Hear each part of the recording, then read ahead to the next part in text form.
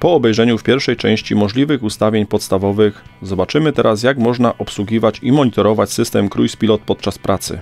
Oprócz posługiwania się menu głównym, dostęp do systemu Cruise Pilot umożliwia również przełącznik Hotki. W tym celu należy obrócić przełącznik Hotki w położenie godziny 9. W oknie Hotki zostaje wyświetlone menu systemu Cruise Pilot. Na podstawie strzałki kierunku ruchu i symbolu strategii można stwierdzić, że system Cruise Pilot jest obecnie nieaktywny. Uaktywniamy system Cruise Pilot naciskając na krótko przycisk automatyki w dźwigni jazdy.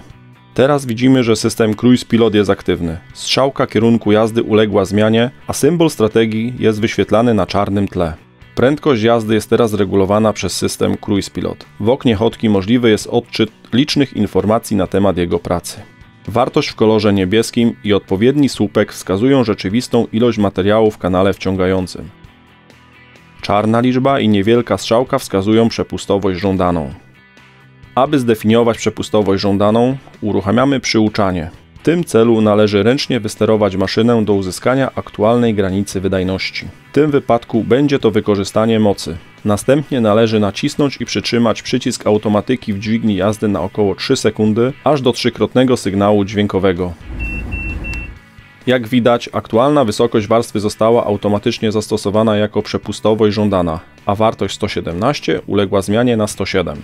Proces ten należy każdorazowo powtarzać po dużej zmianie warunków polowych, nie rzadziej jednak niż codziennie na początku pracy. Przepustowość żądaną można również w dowolnej chwili precyzyjnie ustawić pokrętłem Hotki.